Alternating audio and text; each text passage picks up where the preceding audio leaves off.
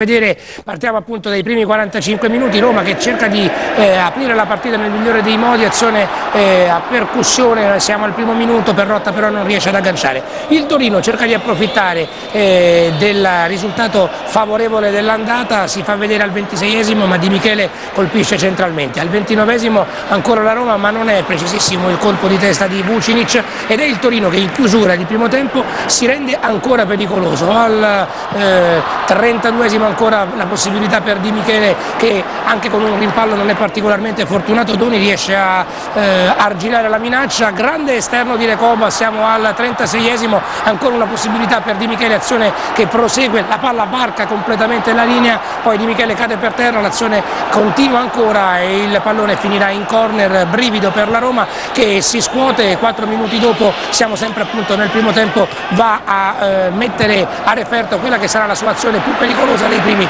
45 minuti. È Mansini che però non riesce a superare Sereni. Attenzione perché nel secondo tempo la musica cambia.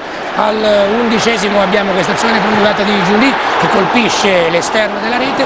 A questo punto Spalletti decide di levare Vucinic e di fare entrare Totti. La musica della Roma cambia completamente con il capitano in campo, eh, le polveri si accendono. Al quattordicesimo arriva il gol di Mansini che è abile ad approfittare dell'assist di Giulì ben servito da Perrotta. Passano altri due minuti ed è lo stesso capitano che va a segno con il gol numero 199 c'è l'assist di Giulì e Totti porta ancora più avanti la sua Roma, siamo sul 2-0, la Roma deve fare attenzione. Poi c'è la possibilità di ulteriore eh, allungo da parte della Roma, questo è un gol particolarmente importante, mette praticamente quasi in cassaforte la qualificazione ma soprattutto è il gol numero 200 della straordinaria carriera di Francesco Totti, in chiusura arriva anche il gol del 4-0, un piccolo capolavoro di Giulì che beffa Sereni prima col destro e poi col sinistro.